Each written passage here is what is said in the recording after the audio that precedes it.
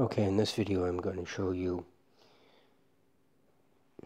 how to uh, write numbers uh, in both digits and words. Okay, in the first question says write the number 5082 in digits. Uh, what I would suggest you do is um, have a place value grid uh, on your paper, write it beside the question, and just very carefully read what digits are going to be in which column. So you've got 5,000 here, so that means that you put a 5 in this column, 82. Okay, well that means that uh, 80 and 2, and that means you must have a 0 in the hundreds column. So your answer would be 5 zero eight two. Okay, uh, if we look at the next one, write the number 4079 in words. Excuse me.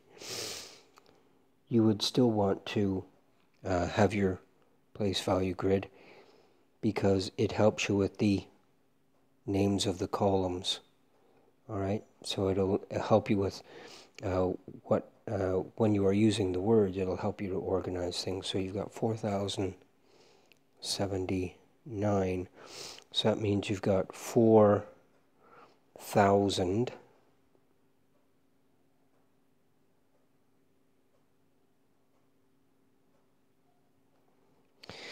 Zero in the hundreds column, so we don't have to say anything about that. And then we've got 79 here. So 4,000 79. Okay, going to the next one.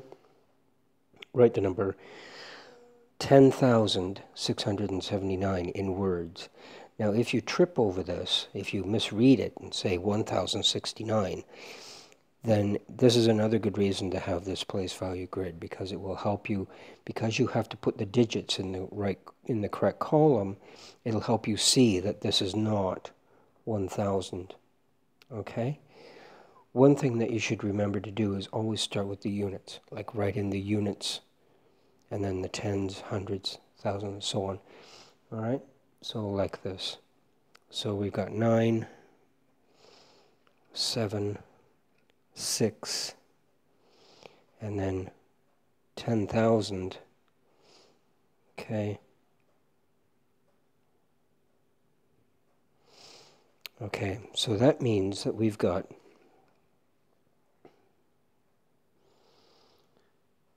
ten thousand six hundred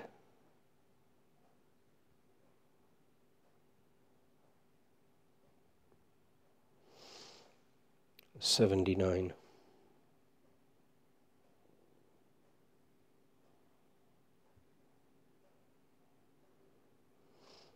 Okay, going to the next one. Write the number 8072 in digits.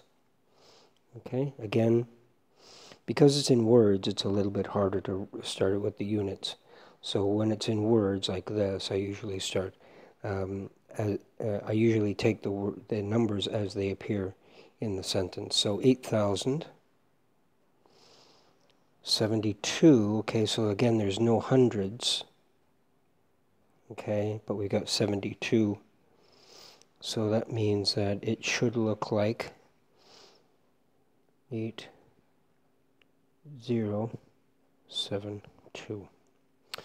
Okay, I hope you found that helpful. Good luck.